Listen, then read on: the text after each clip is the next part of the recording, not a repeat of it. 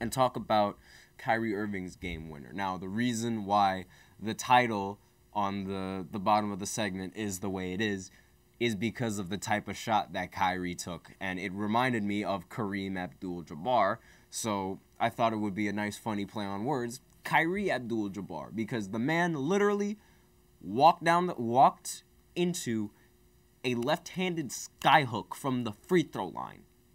Like he picked up like one dribble, one, two, and then skyhook with the offhand in front of Jokic's face for the game. Luka couldn't believe it. Kyrie couldn't believe it. Nobody on the internet could believe it because that is just a ridiculous shot, and that is probably like the only player that you think could make a shot like that with his offhand is Kyrie because Kyrie is such an elite finisher around the rim and like he's one of the best layup makers I've ever seen.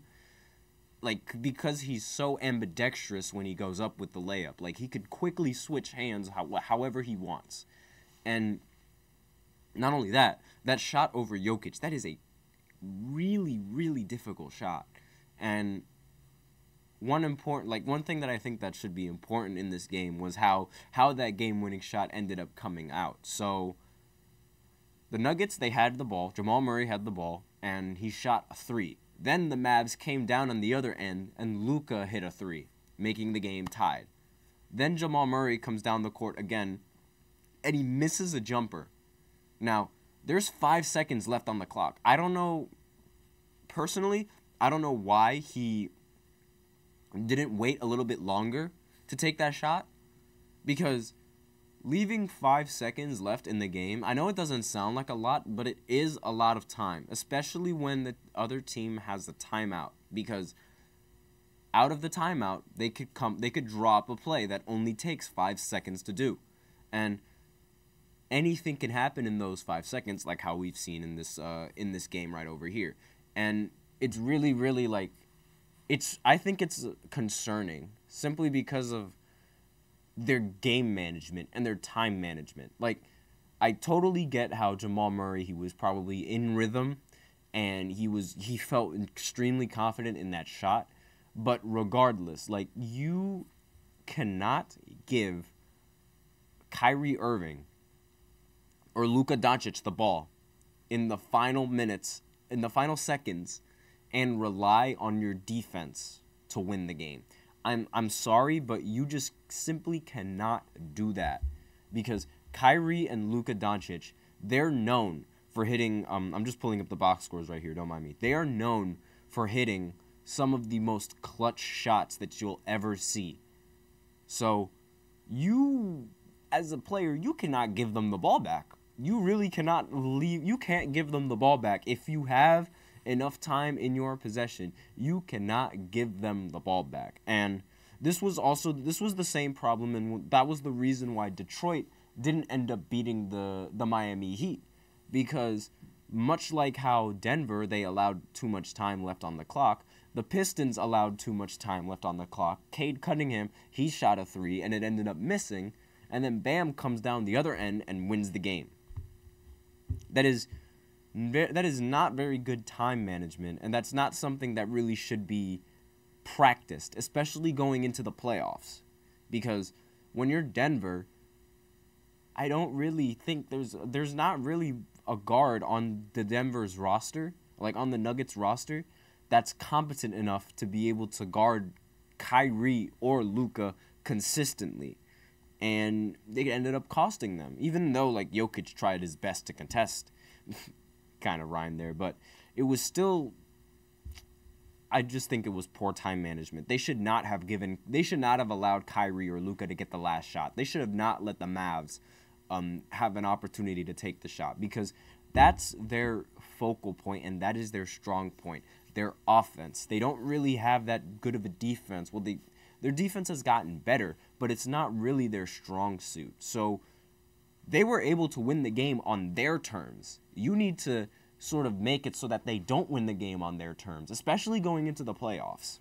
Now, if we're going to talk about playoffs, the Mavericks are kind of in they might be in the play-in. Like they're right now they're the 7th seed and the the difference between the 7th seed and like the 4th seed is like one game. So depending on how it goes, and depending on like the rest of the season, we could see the Mavs either stay as the seventh seed or we could see them go all the way up to the fourth seed. So, dependent on how the season progresses is dependent on how but then how the um the play-in is going to work.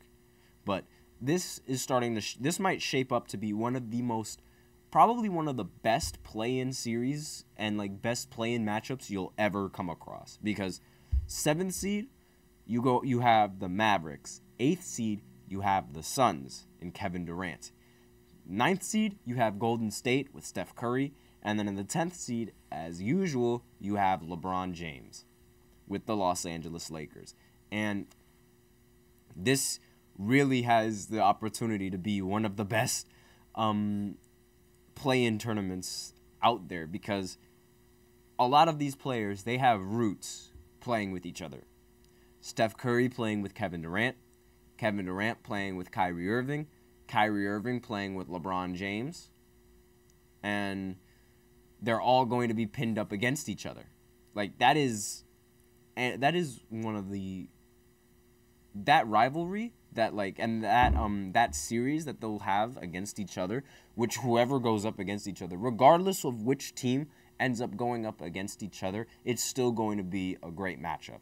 Now, Paul Pierce actually like I just read this um on uh, Instagram like a few seconds ago because Paul Pierce actually had a quote um about um or he actually had some things to say about Kevin Durant and his legacy and he says I've been kind of disappointed in KD's team success. He says he says uh, why he isn't mentioned in the GOAT conversation. Like, um, if you guys remember at the beginning and like earlier in the season, Kevin Durant was constantly asking like, "Why am I not in the GOAT conversation? I should be considered to be in the GOAT conversation." And Paul Pierce says if we put him at the same standard as we do Stephen LeBron, he just hasn't met those requirements. And this is probably the first time that he's been that he spoke the, that the truth has actually spoken the truth um, about any of these athletes currently in the NBA. And I think he's right. I mean, I really don't think Kevin Durant has proven himself whatsoever. I mean, sure, he can be the best player on the best team ever, but that team won 73 games, won a title both with him and without him, both before and after him. And since Kevin Durant joined Golden State, he hasn't done anything in the playoffs aside from disappoint and disappoint. And I would know.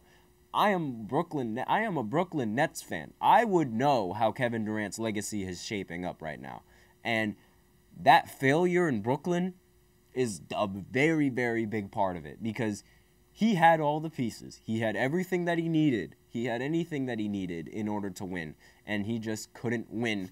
And now a lot of people that like KD are going to defend him by saying, oh, but his foot was on the three point line. Well, guess what? He had an opportunity the next year to, to keep the team the team keep the team together. Excuse me, um, but he didn't end up doing that. Like he's not a leader. He's just he just plays basketball. I'm sorry, I don't see him as a good enough leader to keep a team together, like how I see Steph, like how I see LeBron, like how I see Michael Jordan, like how I see Kobe, as all of those like great leaders on a team. Now, a lot of people might have different opinions on Kobe, but I think he was a great leader, especially like what he did with Team USA.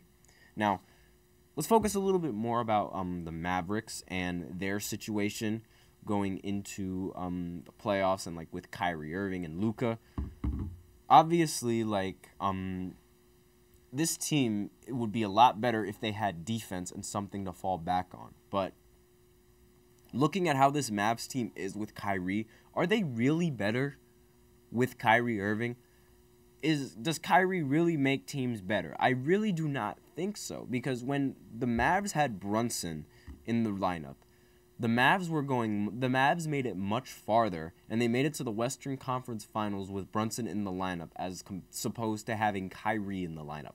Now having Kyrie in the lineup, they missed the playoffs the last year and now they're in the play-in with a chance to um to lose um early in the play-in and not even make the playoffs.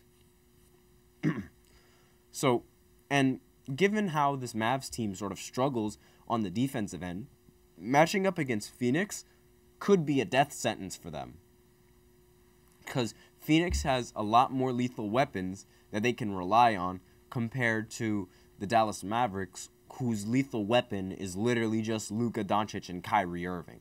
Like they are very heavy on the isolation. If and in Phoenix, yes, they are heavy on the isolation, but there's a lot more players that could isolate and could take a lot of these difficult shots. There's only two of them that could do that in um, on the Dallas Mavericks. And not having any defense sort of just cancels out their offense. And that's not something that the team can really afford to do, especially going into the playoffs.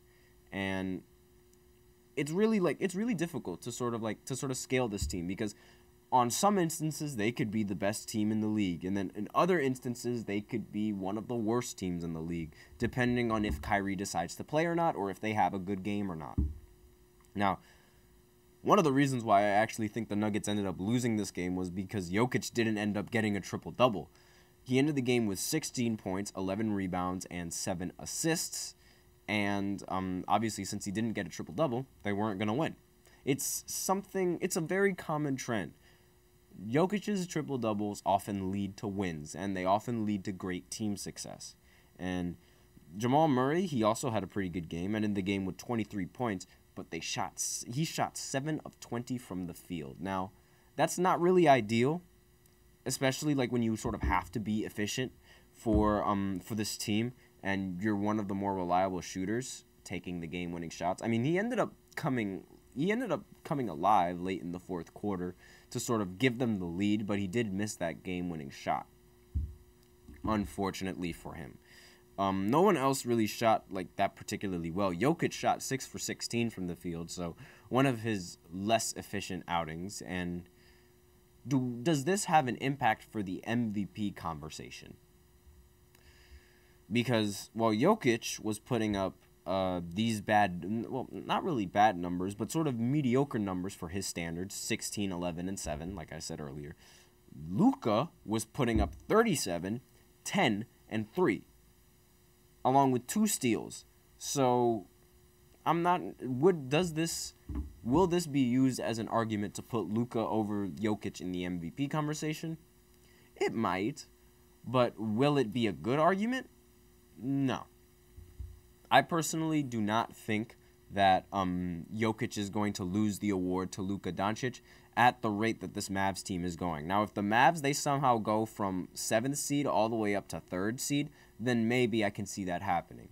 But as of right now, with how they're in, with how the fact that they're in the play-in, and um, they are the seventh seed, I don't really see um, I don't really see Luka Doncic winning this award. I really do not see him and um, winning this award at all. Even though he does have the numbers for it, he does have the numbers for it. I just don't see it. But with that, we are out of time for this second segment. So now I'm going to go ahead into the third segment, where I'm not going to do my usual NBA recap. I'm going to actually focus on the Los Angeles Lakers and everyone's favorite topic, LeBron. So I will be right back after this short break. I'm sorry for any of you guys on the audio. It's just you guys know I like LeBron. You guys know how I feel about LeBron. He's the greatest athlete ever. So I'm going to quickly talk about that after this short break. And it's not going to be entirely LeBron, so don't worry, LeBron haters. You guys won't have to hear me talk about him completely. So I'll be right back after this short break.